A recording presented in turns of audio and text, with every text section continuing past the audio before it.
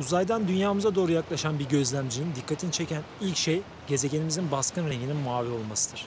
Bu hayat dolu renk aynı zamanda dünyamıza mavi gezegen ünvanını kazandırmıştır. İçerisinde hayatın başladığı günden bu yana milyarlarca canlıya da ev sahipliği yapmaktadır. Yaşam hakkındaki bilgilerimizin tamamı gezegenimizde bulunan canlılardan geliyor. Bilinen en eski fosil 3,5 milyar yıl öncesine ait. İlk hayvanlar ise fosil kayıtlarında ortalama 565 milyon yıl öncesinde görülmektedir. Bu yaştaki kayaçlarda görülen canlılar çok hücreli olmalarına rağmen deniz anaları ya da süngerler gibi çok daha basit ve oldukça küçük canlılardan oluşmaktaydı. Modern taksonomide balıklar diğer tüm omurgalıları kapsayan bir sistem içerisinde de gösterilebilmektedir. Çünkü tetrapodlar balıklardan ayrılarak evrimleşmiş bir gruptur. Bu grup altında amfibiler, sürüngenler, memeliler ve kuşlar bulunur. Aslında tüm canlıları kökenine bakarak balık olarak da kategorize edebiliriz. Bizim anlayacağımız şekilde balık diyebileceğimiz en eski canlılar Kambriyen dönemde ortaya çıkmıştır. Milyonlarca yıl süren evrim boyunca bu balıklar temel olarak yaşam alanları ve beslenme şekilleri olmak üzere birçok farklı sebepten dolayı yüz binlerce farklı türe çoktan ayrılmıştı bile. Bu durum balıklar arasındaki acımasız av-avcı ilişkisinin bir nedeni olarak balıkların avcılara karşı kendilerini savunmalarını sağlayacak bir zırha sahip olmasına neden olmuştu. Gerçek anlamda bir çeneye sahip olan ilk balık ise Silüryen dönemde evrimleşmiş ve bu tarihi dönüm noktasından sonra köpek balıkları gibi çok üst düzey seviyede farklı yırtıcılar evrimleşmeye başlamıştır. Bilim insanları bu zamana kadar okyanusların sadece %5'ini keşfettiğimizi söylüyor. Hatta okyanuslar hakkında o kadar az şey biliyoruz ki 1970'lere kadar bilim insanları okyanus tabanında canlı yaşamın mümkün olmadığını dahi düşünüyorlardı. Şimdi ise bilimsel çalışmalarda ve dalışlarda dalgıçlar neredeyse her dalışlarında yeni türler keşfediyor. Biz keşfedemesek de dalgıçlar bir yerlerde bunları keşfediyor. Artık aşağıda o karanlık derinliklerde her şeyin saklanıp büyüyebildiğini biliyoruz. Günümüzde balıklar bilinen suların neredeyse tamamında bulunmaktadır. Ulaşabildiğimiz en yüksek dağlardaki su akıntılarından hiç güneş ışığının ulaşmadığı okyanus tiplerine ya da mağaralarına kadar hemen hemen suyun olduğu her yerde balıkları bulmak mümkün. Bugüne kadar 33.600 civarında balık türü tanımlanmış. Ve bu sayı bilinen diğer tüm omurgalılardan çok daha fazladır. 2006 itibariyle kırmızı liste içerisinde 1173 balık türü bulunmaktadır. Balıklar sularda yaşadığı ve sularda araştırılması zor yaşam alanları olduğu için balık popülasyonlarına yönelik veriler oldukça kısıtlıdır. Balıklar antik çağlardan günümüze kadar dünyanın her yerinde insanlar için önemli bir besin kaynağı olmuştur. Bilimsel çalışmalar modern insan ile balıkçılık ilişkisinin milattan önce 20 binli yıllara kadar gittiğini gözler önüne seriyor. Avustralya Ulusal Üniversitesi Arkeoloji ve Antropoloji bölümünün başyazarı Dr. Sofia Samper bu araştırma sayesinde 7000 yıl önce balıkçılık davranışlarında bir değişiklik olduğunu tespit etmiş. Çalışmaların yapıldığı Endonezya'daki Alor Adası'nda yapılan arkeolojik kazılarda 12 bin yıllık dünyanın en eski balık iğnelerinin, balık kemiklerinin ve bir kadının bulunduğu mezarı da incelemişler. Doktor Samper, Alor Adası'ndaki insanların yaklaşık 20 bin yıl önce açık su balık türlerini avladığını fakat üzerinden tam 13 bin yıl geçtikten sonra resiflerdeki yaşayan türleri avlamaya başladıklarını söylüyor. Bir Hırvat adasında ise mağarada bulunan 8 bin yıllık bir erkeğe ait iskelet kanıtlarının üzerinde yapılan analizler, dişindeki plak üzerinde mikroskopik balık ve bitki kalıntıları olduğunu ortaya çıkarmış. Bu sıradan gibi görünen olay aslında bölgedeki erken insanların diyetinde hem balığın hem de bitkilerin varlığına dair kanıt sunan tek iskelet örneği olduğu için oldukça önemli. Bu keşif Adriyatik ve Akdenizli avcı toplayıcıların yaşam tarzına ilişkin bilim insanlarına önemli ipuçları sunuyor. Rotamızı Sibirya'ya çevirdiğimizde ise insanlar 5000 yıl önce balıklara özel bir koku verebilmek için balıkları kırmızı renkli toprağa sahip çukurlara koyuyorlardı. Tabii ki bu çukurları sadece balıklar için değil, ayrıca kutup porsuğu ve gelincik gibi hayvanları da dahil ederek gizemli bir ritüeli gerçekleştirmek için kullandıkları düşünülüyor. Bu balık tütsüleme yöntemi hala biliniyor ve Sibirya ile daha kuzeydeki etnik gruplar tarafından hala kullanılıyor. Ben bunun benzerini Rusya'dayken denemiş fakat hiç beğenmemiştim. Çünkü bu yöntemde balıklar ağır bir şekilde yavaş yavaş kokmaya başlıyor. Fakat anlaşılan o ki bu koku ne atalarımızı ne de şu anki yerleri hiçbir şekilde rahatsız etmemiş. Sonuçta insan her şeye alışıyor işte. Günümüzde İsrail sınırları içerisinde çeşitli arkeolojik kazı alanlarında bulunan balık dişlerinin analizlerine göre 3500 yıl önce de Akdeniz'in güneydoğusunda aktif bir şekilde balık ticareti yapılıyordu. Dişlerin sahibi olan bu hepimizin bildiği çupra balığı Güney Sinay kıyısındaki Bardavil Gölü'nde yakalanıp sonrasında Mısır üzerinden Güney Levant'taki bölgelere getiriliyordu. Bu bahsettiğim balık ticareti neredeyse 2000 yıl boyunca sürmüş. Görünen o ki bu uzun yıllar süren balık ticareti coğrafyayı etkileyecek şekilde genişletmiş. Fakat bu ticaretin hızlı yükselişi bir süre sonra tıpkı günümüzde olduğu gibi balıkların büyüyüp üreyebilmesine fırsat dahi tanımamış. Ve bir süre sonra balıkların vücut ölçüsündeki oran hızla düşmeye başlamış. Yapılan bu büyük balık ticareti belki de balıklara karşı yaptığımız ilk istismardı. Anadolu coğrafyasında ise balık binlerce yıldır burada yaşayan toplumun temel besin ihtiyaçlarından birisi olmuştu. Aklınıza hemen üç tarafımızın denizlerle çevrili olduğu ve bunun çok normal olduğu gelebilir. Fakat durum tam olarak sadece bundan dolayı değil. Kırmızı et Anadolu'da binlerce yıldır çok pahalı. Yani aslında halkın zor yaşam koşulları gibi konular Anadolu için çok yeni sorunlar değil. Karbanın yüzü ne zaman gülür? Karbanın yüzü gülür. Balık bu yüzden Doğu Roma İmparatorluğu'nda en fakir evlerden manastırlara ve tabii ki lezzetiyle imparator sofralarına kadar bütün mutfakların olmazsa olmazıydı. Andrew Delby'nin Roma'nın Damak Tadı isimli kitabında bahsettiğine göre Doğu Romalılar en çok kırlangıç balığını, kefali, barlan balığını, barbun ve levrek balığını tercih ediyorlardı. Ama bir balık vardı ki bolluğu ve bereketiyle Doğu Roma İmparatorluğu zamanında resmi paralara bile basılmıştı.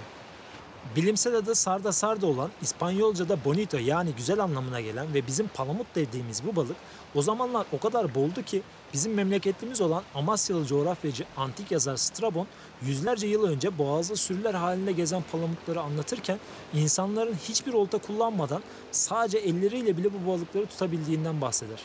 Hatta o zamanlar yunusların ton balığı ve palamut bolluğu nedeniyle çok beslenip şişmanladıklarından ve bu yüzden kolaylıkla yakalanabildiklerinden de bahseder. Yunuslar o günlerde yağları için avlanıyorlardı. Dönemin gezginlerine göre İstanbul Boğazı'nın kıyılarındaki ağaçların ve tepelerin üzerine balıkları gözetlemek için kuleler kurulmuş. Aynı burada olduğu gibi.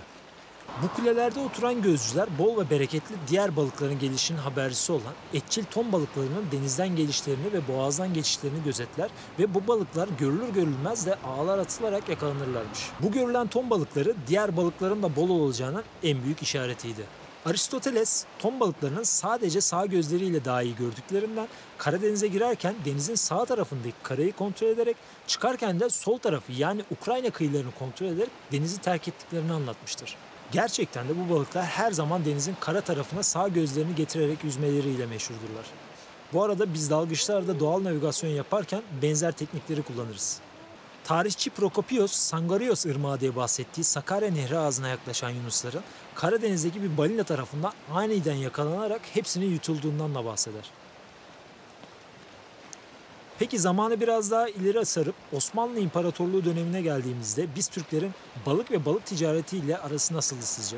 Hemen söyleyeyim bu topraklardan gelmiş geçmiş neredeyse bütün seyyahlar sanki ağız birliği yapmışçasına seyahatnamelerinde yazdıkları biz Türklerin ağızlarına balık koymadıkları hatta balıklardan korktukları ve bu yüzden de denizden ve balıktan uzak durduklarıydı. Ben hala balık yemiyorum. Gerçek böyle miydi bilmiyorum. Fakat bildiğim bir gerçek var ki o da bizim denizden korkan bir toplum olduğumuz. Çocukluğumdan beri dede mesleği olan denizcilikle meşgul olduğum ve insanlara çeşitli dalış eğitimleri, yüzme eğitimleri verdiğim için bu korkunun halen ne seviyede olduğunu çok iyi biliyorum.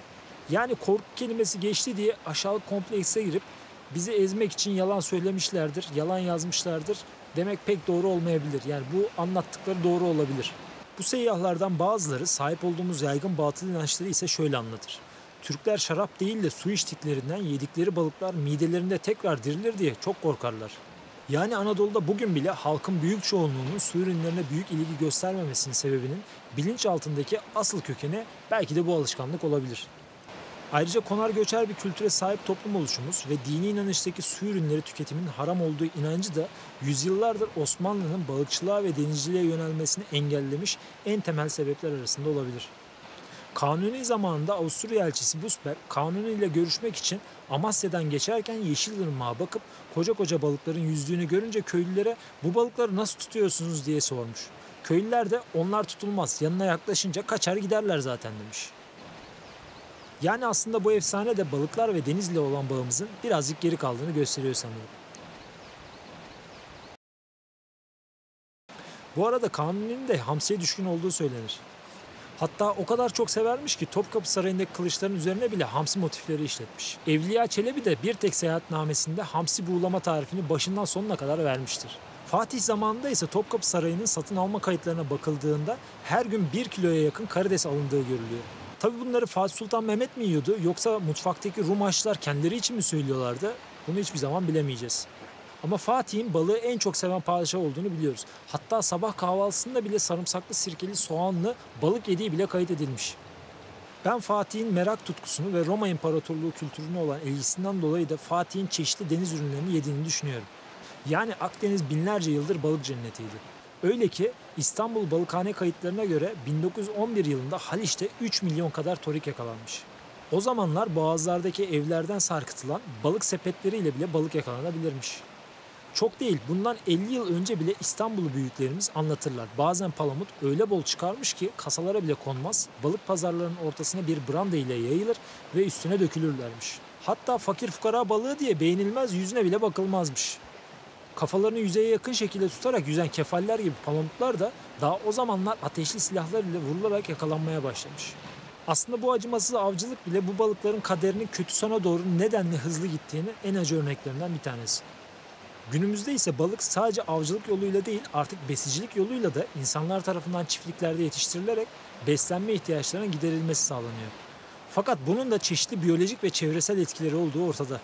Birleşmiş Milletler verilerine göre yılda 80 ile 100 milyon arası artan dünya nüfusunun 2050 yıllara geldiğimizde 12-13 milyara ulaşacağı hatta geçeceği düşünülüyor. Bu da gelecek 20-30 yıl içerisinde hayvansal ve balık gıdalarına olan ihtiyacın 2-3 kat artacağı anlamına geliyor. 2016 yılında dahi sadece Türkiye'de balık avcılığı ile yakalanan su ürünleri miktarı %25 oranında düşmüş. Normal şartlarda denizlerimizde yapılan avcılık ile elde edilen balığın %65-70'ini hamsi oluştururmuş. Ama artık önüne geçilemez hale gelmiş olan kontrolsüz ve bilinçsiz avcılık sonucu ekolojik yapı öyle bir bozulmuş ki balıklar artık ne büyüyebiliyor ne de yumurta bırakabiliyor. Hiçbir şekilde üreyemiyorlar. Hiçbirini yapmasına fırsat vermeden balıkları avlıyoruz. Dünyanın birçok yerinde olduğu gibi bizim denizlerimizde de avlanılabilir balık stoğunu umursamaz bir şekilde tüketmiş durumdayız. Bunun yanı sıra önümüzdeki yıllarda bizleri bekleyen başka bir sorun da dalga dalga büyüyerek gelen bir tsunami misali plastik sorunudur. Dalga dalga geliyor derken abartmıyorum. Okyanuslardaki plastikler artık dalgalar halinde ülkelerin kıyılarına vuruyor ve yeni bir kıta oluşumuna doğru inanılmaz bir şekilde ilerliyorlar. Bu duruma karşı alınabilecek birkaç farklı çözüm önerisi var tabii ki. Fakat ilk önce Yüce Atatürk'ün dünyada her şey için, medeniyet için, hayat için, gerçek için en hakiki yol göstericisi bilimdir, fendir. Bilimden başka bir yol gösterici aramak tamamen gaflet ve cehalettir dediği gibi dünya ve ülke olarak bilim insanlarına kulak vermeyi öğrenmeli ve onların gösterdiği yolları izlemeyi kabul etmemiz gerekiyor. Belki dünyayı, devletleri ve şirketleri yönlendirmek zormuş gibi görülebilir. Fakat bizlerin bireysel olarak yapacağı boykotlar, örneğin en basitinden plastik çatal bıçak, tek kullanımlık ürünleri kullanmayı reddetmek gibi yaşam şeklimizi değiştirecek davranışlar bir süre sonra şirketlerin ve ülkelerin de davranış şeklini değiştirmek zorunda bırakacak. Çocuklarımıza daha canlı bir dünya ve vatan bırakabilmek için ben ne yapabilirim diye düşünün ve hemen şu an yaşam tarzınızı değiştirin. Yaşam tarzımızı değiştirmek bu zorlu mücadelede bizim için küçük olsa da balıklar ve tüm canlılar için oldukça büyük bir adım olacaktır.